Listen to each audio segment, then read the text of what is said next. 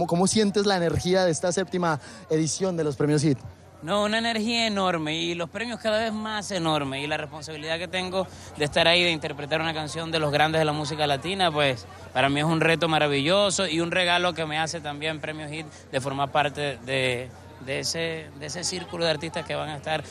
brindando el honor a Gilberto Santa Rosa. Nacho, además, con, con poco spoiler, porque va a estar en ese, en ese tributo al premio Trayectoria Gilberto y además hoy entregas un premio muy especial sin, sin decir o sin el spoiler que puede esperar la gente porque además es una, me parece una,